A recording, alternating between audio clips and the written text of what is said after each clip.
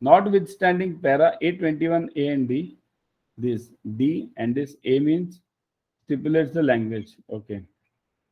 The name of the person, entity or entity, any stamps, legalization, endorsements, or similar, and a pre-printed text shown in the document, such as but not limited to uh, field headings, may be in a language other than that required in the credit.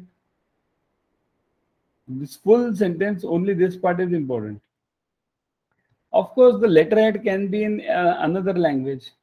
Yeah, what have you to do with the letterhead in that case?